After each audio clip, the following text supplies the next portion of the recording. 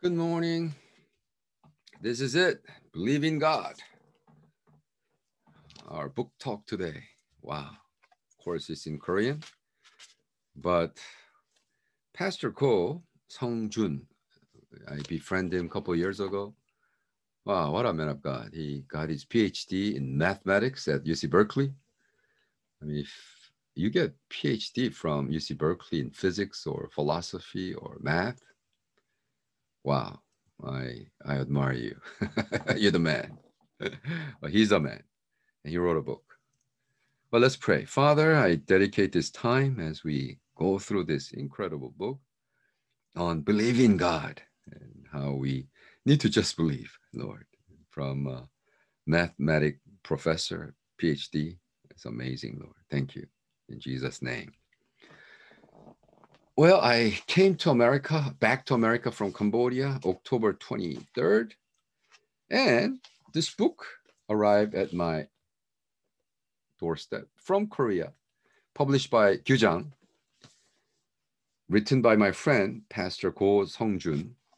Title is in English, Believe in God. Believe in God. What a what a name. And the subtitle is Believing in God is not to prove it, but to believe. What does he mean? I met him a couple years ago. Uh, you know, I was part of the church that he was part of at Berkeley. And since I'm older than him, I started um, going to this church 1980 and became the president of college department there and eventually became a very successful ministry that stayed at Berkeley. And so he later joins the church and becomes a pastor through that ministry. And so when he was a pastor in Suwon, he invited me to come and preach at his church. But he said, Oh, he's just, he, he is one of the up and coming preacher in Korea and his ministry, several thousand people, and so very successful. So he invited me to preach at his church and at Seoul we met and he said, you know what, I'm so busy. We'll just have a quick lunch together and then then we'll talk later further more, you know, next meeting. I said, oh, no problem. We had meeting. We just instantaneously in love. You know what I mean? It's like kindred spirit. We spent three hours. and he said, you know what, you need to meet my friends too. So he immediately organized uh, meetings. The next time I was in Korea, we end up meeting all his friends, and all his friends became really good friends with me. And so I'm now ministering at uh, Joyful Church, not only Suwon and also Agapao Church or ministry. That's just amazing.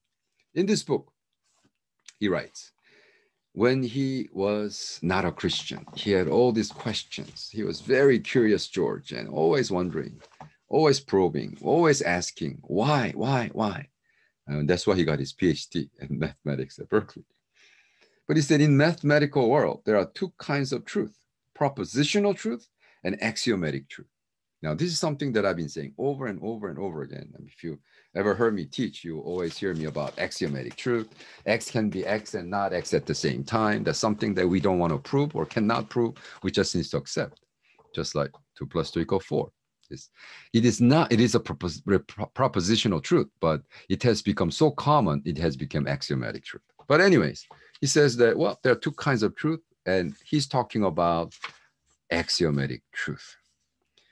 He says that Bible does not make excuses or try to defend how God created the world. He said in book of Genesis 1, it simply states that God created heavens and the earth. And I just published my Genesis chap first part, Genesis chapter 1, an exact same quotation. I said, God does not need make excuses for us and does not have to explain why God created, right?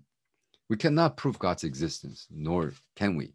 But that doesn't mean we can, he doesn't exist. Just because you cannot prove something doesn't mean. So that's axiomatic truth. It's written in nine chapters. Whew, it's all good stuff. But I think chapter nine is something that that blew my mind. And I think it's his way of critiquing the church of today's church, both Korean, Korea, both in Korea, in America, saying that you shall not live like that. You cannot do church like that. and then he backlogs of how the kingdom of God should be, but it has become kingdom of man. 인간의 나라, 하나님의 나라 literally means human country, kingdom of God, kingdom of man and kingdom of God. How they should be different. Well, it's about ruling. When we talk about kingdom, it's who rules, right? And there are three kinds of need that humankind has physical, spiritual, soul, body, soul, and spirit. So if you put that in the Venn diagram, basically God above and God supplies all our need and God's kingdom rules by love. Right? But when human, then they start patronizing, they start ripping off people, they start taking advantage of, the people. So in the kingdom of God, we should have God the above, and all our needs are met spiritual, physical, emotional. And yet, because there is that unfairness that set in in society, uh, that some people die of hunger. Wow, this is tragic, isn't it? According to the David Barrett's research, we produce enough food. We have enough food that no one should die of hunger. And yet, guess how many people die of hunger each day? Okay. It's 22 million per year. That's 60,000 people per day. That's 2,511 people per hour. 42 people die per minute. Point, 0.7 second, which means two people die every three seconds.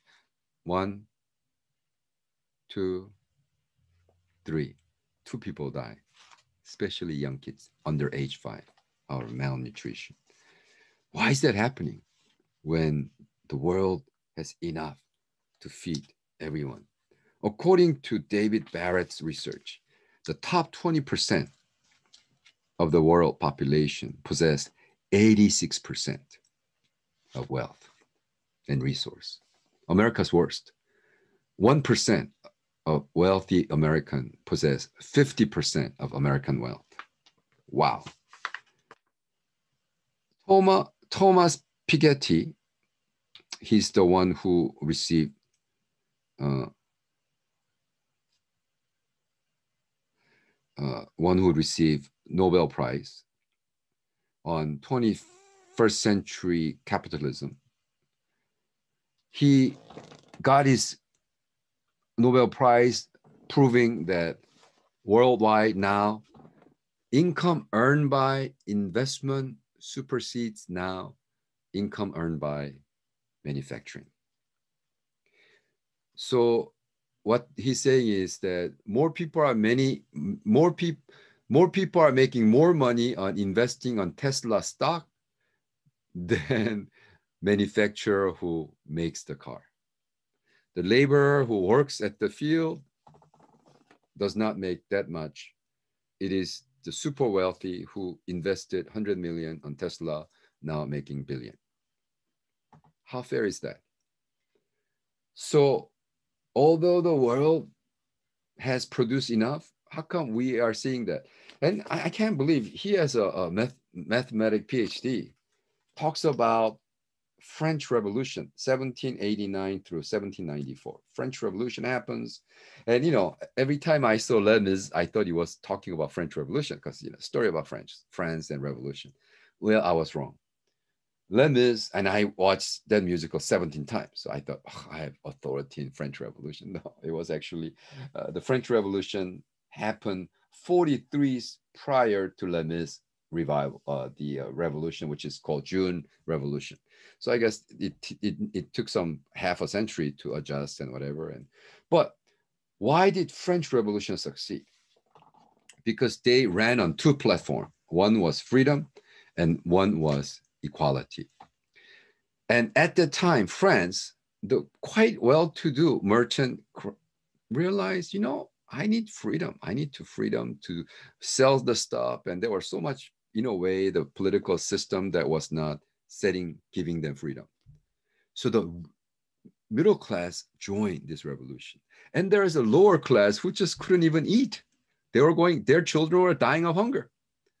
So they say, well, if we're going to die, well, we'll just, let's see what we can do. So these two forces, freedom and equality. But these are principally two things actually are in contradiction. If you need freedom, if you want true freedom, well, then it's free competition and equality is not something that you want naturally want, right? You want to win and have it all. No. But equality also, you need to give up on freedom a little bit. Yeah, yeah, I'm super rich. I could spend 10 million a day and I'll not run out. But what about 10 million people who die? Why don't you share? So why don't you pay 90% tax or something like that? It's no way. So freedom and equality, there's always in the tension. And yet French Revolution ran on that and became successful. And what spin off of that is the platform on freedom, spin off is capitalism. Platform on equality, spin off is communism. wow. Well, capitalism believe there is God. Communism there is. So communism, of course, failed. But capitalism also at the same time is not a biblical principle. You know, some people always try to think like capitalism is a biblical principle. Who, who, who told you that? Matter of fact, the American spirituality believed that so much. A friend of mine who got his PhD and wanted to work at one of the large American theological institute, got the job, and he offered, and then he needed to sign the document. And the document said, you cannot criticize capitalism. You cannot teach anything against capitalism. I'm like, what? How can you be a scholar if you cannot criticize?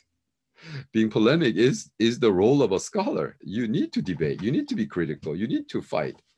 He said, no. Well, I said, well, I cannot do that then. So he opted out. That is so sad, isn't it?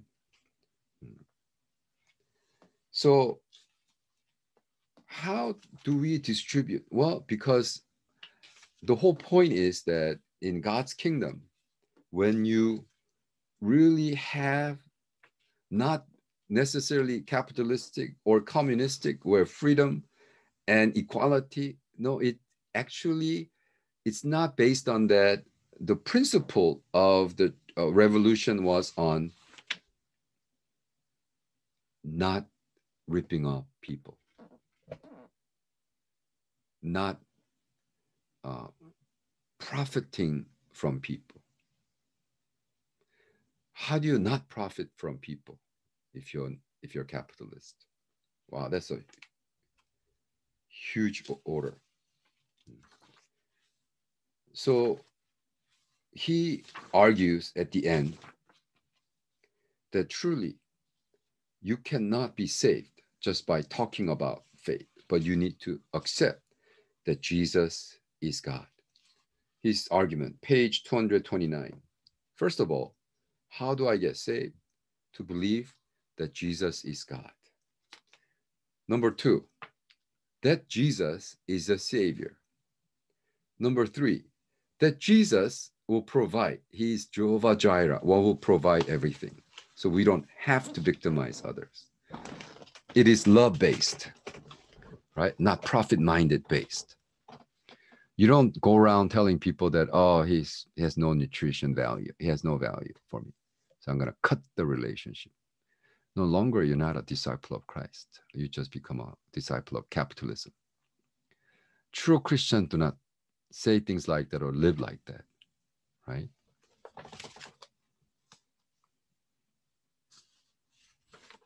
Wow.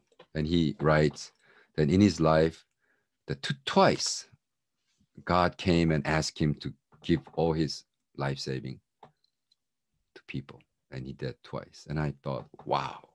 Not only he, you know, he lay he in the book talks about his MBTI um, score was INTJ, INTJ scientist, and that's who I am. I am INTJ, and there's only two percent of population. They're scientists, they're researcher, they're thinker, they're and, and as INTJ, he said that when God came and asked him to give up his life saving twice, it was very difficult for him because there was money saved up for insurance just in case kid gets sick or you know whatever. But he gave up life saving twice in his life, and I'm thinking, wow, even that is equally because in my journey with Christ, He asked me to give up my life saving twice, and I did. It was not easy, but wow, you know, one time uh, we had in, a, in my entire life saving us five thousand dollars, and Lord said, "Give it, take it all out, and give it to your friend whose son had to quit school because he didn't have five thousand. Wow! And of course, you know, twice things like that twice when I was like so poor. Eh, when that you know that five thousand man, the world, yeah. But Lord provides. I believe Jesus is God. I believe He's my Savior. I believe God is my provider. And I don't want to rip people off. I don't want to make people into a source of income. I don't want people uh, to look at people like piece of bread or, you know, I, I want to trust that God will provide. Believe in God. Amen. Whoa, what a book. If you can read Korean, get that, read it. Uh, I don't think I'll translate that book into English anytime soon. So trust me, it is a good book. Lord bless you. See you tomorrow. Mwah.